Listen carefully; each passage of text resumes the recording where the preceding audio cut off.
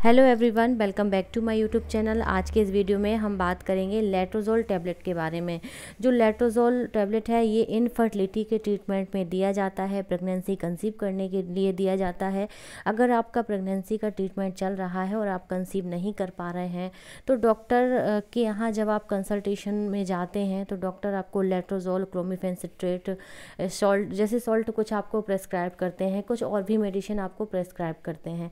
तो लेट्रोजोल का जो वर्क होता है, बहुत सी फीमेल को नहीं पता होता कि इसको कैसे यूज़ करना होता है और यूज़ करने के बाद आपको पार्टनर के साथ रिलेशन कब बनाना है। ये दो चीज़ें जो हैं, ये बहुत ही ज़्यादा इम्पोर्टेंट होती हैं जब आप इनफर्टिलिटी का ट्रीटमेंट ले रहे होते हैं। क्योंकि अगर आप टाइम का ध्यान नहीं रखेंगे, आपका जो ओवुलेशन है वो हो जाएगा, उस दौरान अगर आप रिलेशन नहीं रखते हैं तो आपको कंसेप्शन नहीं होता है।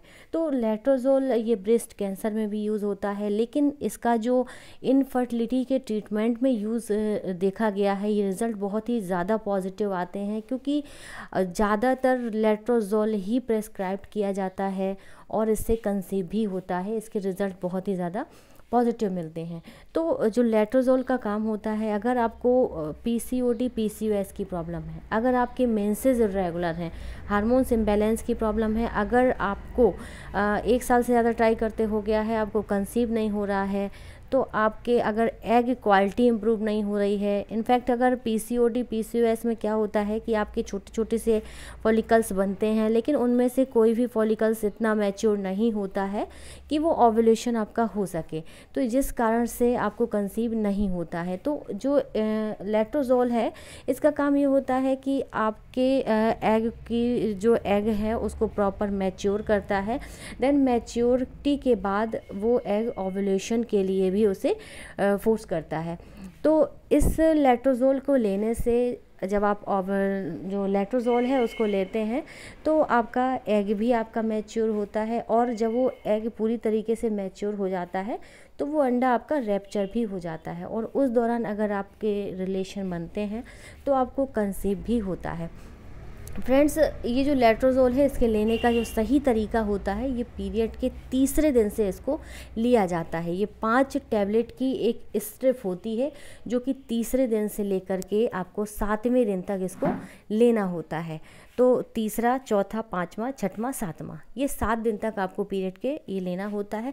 लेकिन जब आप इस टैबलेट को लेते हैं तो आपको ये ध्यान रखना है कि इस टैबलेट को लेने के लिए आपको रात में ही लेना है। जैसे कि आठ से नौ बजे के बीच में आप इस टैबलेट को ले लें, लेकिन जब आप इस टैबलेट को लेना स्टार्ट करें तो आपको डेली आठ से नौ के बीच में। जैसे आपने एक टाइम डिसाइड कर लिया कि आपको नौ बजे लेना है तो आप डेली इस टैबलेट को नौ बजे ही लें। इससे आपका जो टाइम रूटीन होता है ये भी अच्छा होता है और एग भी आपका टाइम से ही रैप्चर होता है।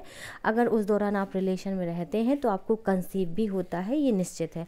तो जो लेट्रोजोल है ये आपका ओवुलेशन करता इससे ओवुलेशन होता है इससे कंसेप्शन के चांस बढ़ते हैं और, और आपके एग की क्वालिटी भी इम्प्रूव होती है।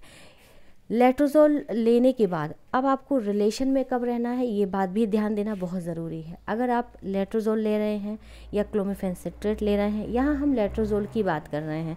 तो अगर आप लेट्रोजोल टैबलेट ले रहे हैं तो आपको रिलेशन में पीरियड के दसवें दिन से रहना है। मैं एक दिन पहले बता रही हूँ, ताकि किसी भी प्रकार का कोई मिस होने का कोई चांस ना रहे। तो जब आप इस टैबलेट को लें तो आपको पीरियड के दसवें दिन से रिलेशन बनाना स्टार्ट करना है, और आप पीरियड के बीस से बाईस दिन तक आप रिलेशन बना सकते हैं। आप चाहें तो अल्टरनेट डे पे बना सकते हैं और अगर आप चाहें तो डेली भी बना सकते हैं। वैसे अल्टरनेट डे पर भी बनाना कोई गलत नहीं है और डेली बनाना भी गलत नहीं है। डेली बनाने की सलाह इसलिए नहीं दी जाती है कि जो स्पम की क्वालिटी होती है वो डेली रिलेशनशिप में रहने से कुछ डाउन हो जाती है। लेकिन एक अगर आप एक दिन छोड़ के एक दिन अल्टरनेट डे पर रिलेशन बनाते हैं तो जो स्पम है वो तीन से चार दिन तक सर्वाइव हो जाता है लेकिन एग ओवुलेशन होने के बाद सिर्फ़ 24 घंटे तक ही सर्वाइव हो पाता है। तो इसलिए आपको डेली रिलेशन आप बना सकते हैं इसमें कोई प्रॉब्लम नहीं है।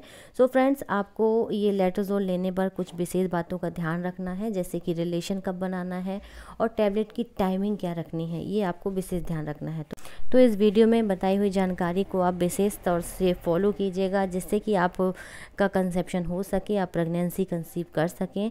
सो so वीडियो को लाइक कीजिएगा चैनल को सब्सक्राइब करके शेयर ज़रूर करें।